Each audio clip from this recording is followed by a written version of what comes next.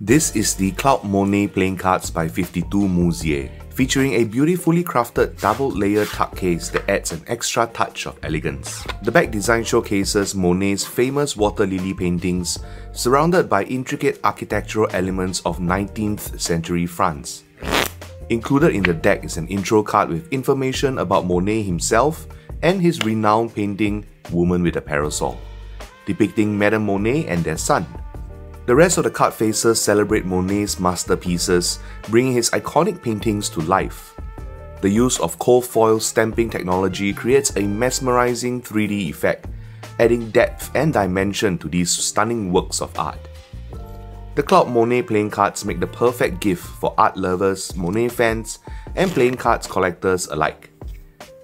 With a limited production of only 2,000 decks, don't miss this opportunity to own a piece of art like